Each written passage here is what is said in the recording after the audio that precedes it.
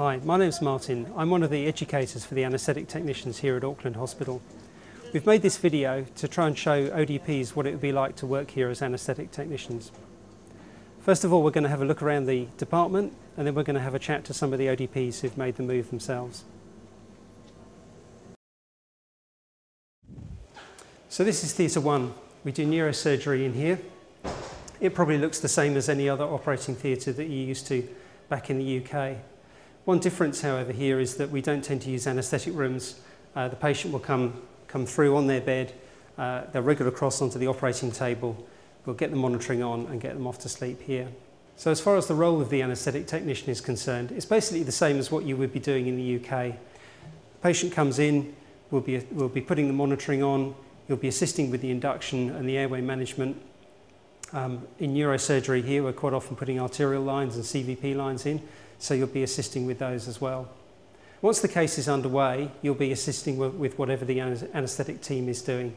Uh, so we'll be taking lots of blood tests, blood gases, etc. Uh, and you may even have time for a cuppa. You'll be pleased to know that we've got the best coffee shop in Auckland here.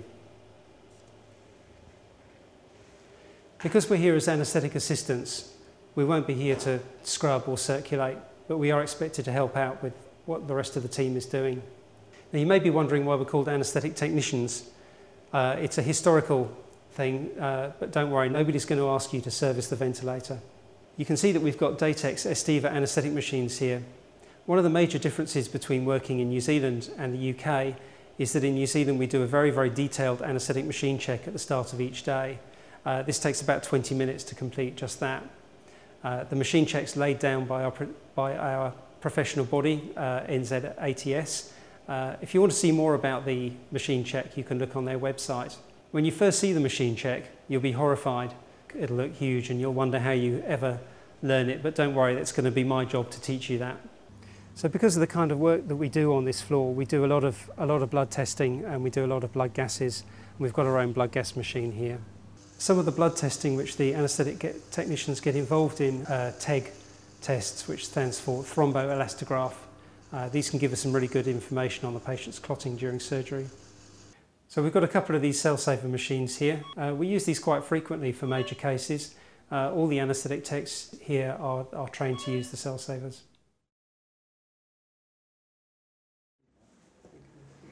So Tracy, how long have you been in New Zealand? It'll be a year next month. All right. And how are you finding it so far? We love it, absolutely love it. Great, yeah. Great. When we spoke to the hospital, as in here, um, it was quite uh, quite easy and people were welcoming and uh, quite helpful with ideas and information about moving over to New Zealand and especially coming to Auckland. I've always said that we'd actually love it here, so we took the punt on New Zealand just to have everything that we enjoy doing on our doorstep. So that was it, we just up sticks and went. Um, the culture, everybody has been so friendly compared to what they're like in the UK. Um, even people that live around us, we were brought cakes when we arrived, which really surprised us. Um, the scenery, we walk on the beach every day, everything. There's a whole welcoming pack and uh, a process to, to go through that makes it fairly easy to slip into the system of how things are done in this department. Working day, you still have the same content of um, difficult cases and patient contact, but it's not so hustly bustly and so stressful. There's they knew that I were having problems initially because of my daughter, um, and they were very supportive through that. Even though I'd only just started here, whereas in the UK I think they'd have been a bit uh, not so good with you just starting. good fishing, good weather, good lifestyle. Um, and house prices, funny enough, did play a part because we had certain aspirations of what we wanted to buy in the new country we went to.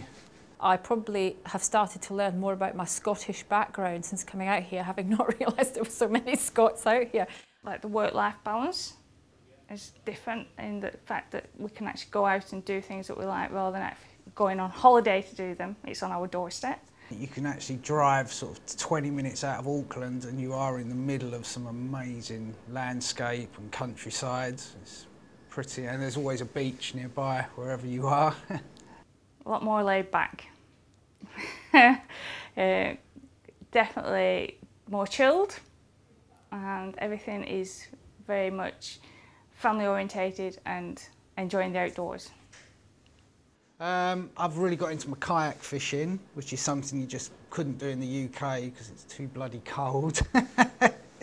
um, kayak fishing, which um, we've started do, doing a lot more rambling, walking around, a lot more camping because they've uh, Department of Conservation campsites, which are in, in some amazing places, in forests and on beaches. On a more regular basis, whereas the UK, if we wanted to go skiing, we had to go on holiday. Whereas here, obviously, we've got the indoor and we've also got the mountains. So it's we haven't done anything different. It's just we've done it more often.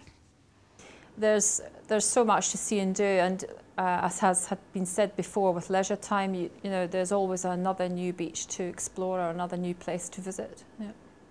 in England you seem to be just working to pay the bills, whereas here you actually do look forward to your days off because there is always something to do.